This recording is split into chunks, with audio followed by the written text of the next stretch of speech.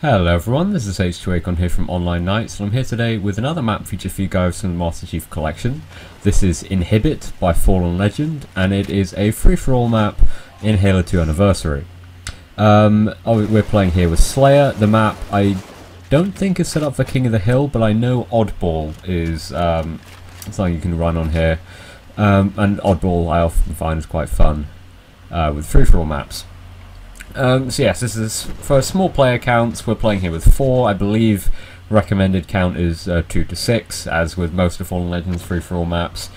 Um, and yeah, it's interesting because it's one of the few maps I've seen so far in the Master Chief Collection that hasn't been built on Awash, which seems to be the most popular canvas. It's actually been built on Nebula, which is, for those who are not already aware, kind of just a complete straight copy of Impact from Halo 4. It's got the exact same skybox.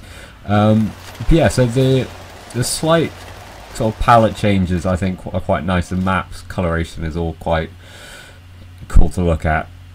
And it's just something new compared to what we've been seeing a lot of so far from Awash. So as for the uh, as for the map itself, there are two power weapons to take note of. One being the sniper rifle, which spawns down in that kind of pit down there at the bottom of the map. So you need to sort of do some work to get to a good position where you can use it.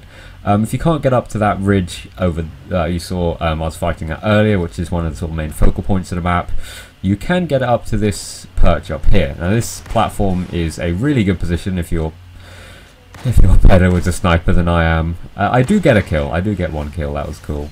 But um, yeah, um, so it's generally a pretty good position, um, though you are a bit exposed, and there are, as you can see, some decent line of sight blockers. Um, yeah, if you're any good with the sniper, you can get a couple kills from up here. Not to say it's overpowered at all, as, as I said, it's pretty open, and it takes some effort to get up to.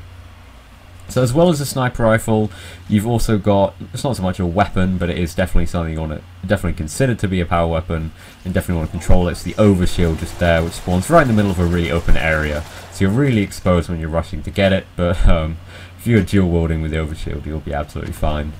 So these are the players I'd like to thank for their time, helping us test and play the map. We had a very fun game, and very competitive game it turned out to be. Um, people taking it way too seriously in the end.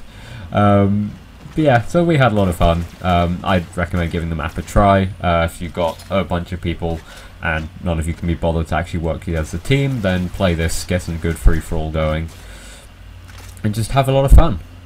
Anyway, this has been Inhibit by Fallen Legend. If you'd like to get your map feature like this, then please click the link. Please click the link at the end of the video, which we'll have in the description. Likewise, if you want to download the map, we'll also put download links in the description as soon as we can. I've been H. Dragon from Online Knights, and I will see you guys next time.